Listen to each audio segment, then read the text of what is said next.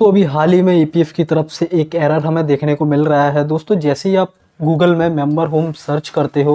और आप पहली लिंक पर क्लिक करते हो तो दोस्तों आपको कुछ इस तरीके से एरर देखने को मिल रहा होगा दोस्तों पहले क्या होता था कि हम तुरंत अपना